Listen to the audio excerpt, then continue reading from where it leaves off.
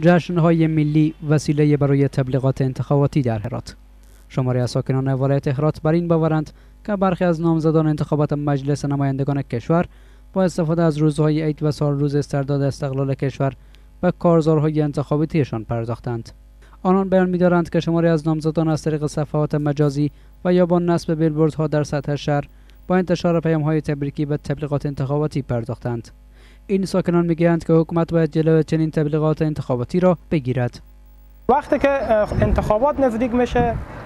کاندیداتورهای محترم از طریق رسانه ها از طریق بالاخره بیلبورد و امثال هم یا طریق صفات مجازی و غیر مجازی اینا پیام های تسلیت یا پیام های تبریکی برای مردم میگن و بالاخره اینا خود از اینا همگی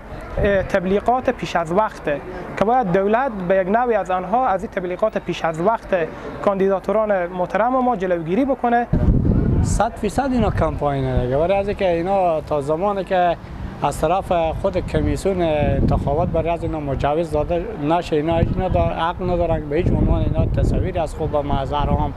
نصب کنن یا به نوع قسم از اقسام اینا تبریکی بدن به چرا میره پیش از اینکه مسائل انتخاباتی بودی کار نمی‌کنه فعالان مدنی و ناظر بر روند انتخابات در هرات نیز در این مورد ابراز نگرانی کرده و خواهان رسیدگی جدی به این مسئله سوی کمیسیون های انتخاباتی هستند.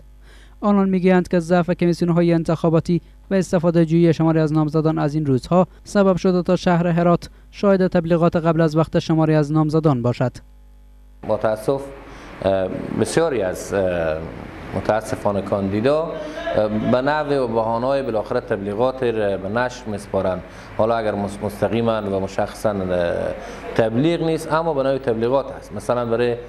پیام های به مناسبت عید ما دیدیم که به بنارهای بسیار کلان عکس خود در کنار چاپ کردند و متاسفانه در بسیار از اقصانقات شهر هرات به دیوارها نصب است خب ضعف کمیسیون انتخاباتی از یک طرف و سوء استفاده دیگران از یک طرف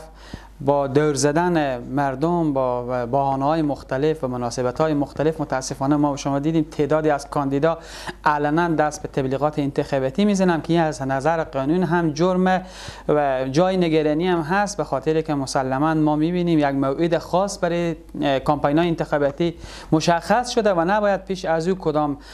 حرکتی که بیشتر کامپاین برای مردم نشان بده صورت بگیره.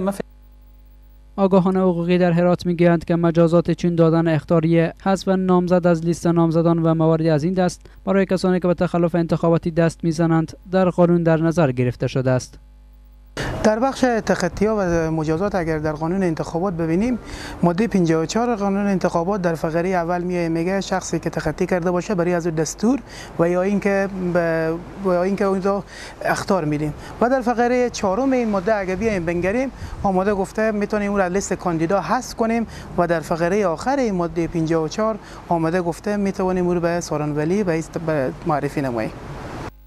در همین حال مسئولان در دارالانشای کمیسیون شکایت انتخاباتی از ثبت شش مورد تخلف در مورد تبلیغات قبل از وقت در هرات خبر می‌دهند. محمد نصیر دولتی مسئول این اداره به تلویزیون چکاد می‌گوید که امکان حذف نامزدان در صورت تداوم این روند از لیست نامزدان انتخابات مجلس نمایندگان نیز وجود دارد.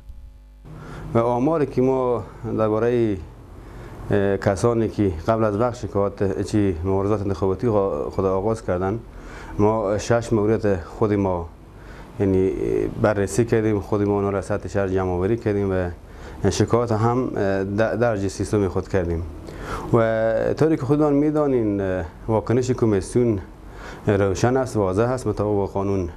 ما واکنش خواهیم داشت. و حتی قانون هم قانون هم پیش بینی کرده که